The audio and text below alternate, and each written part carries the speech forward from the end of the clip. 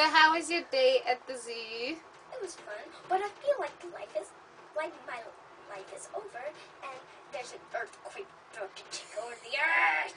Okay, so now you're in the cable ride. I'm scared. I'm scared. I'm scared. Alright, so you're enjoying the cable ride though? Yes, it was scary going up, but it's better going down. Woo! And this is the whole zoo that you can see. Yeah. Yeah, it looks like It's more trees. big. Oh, look at that. What are those? Oh, those are bulls. Those are buffalo. Buffaloes. Look at their horns. Mm-hmm. That one has a good horn. Okay, just have a great day at the zoo. Right. Wait, wait, wait. We're about to get one of those things. Did you always so scared of?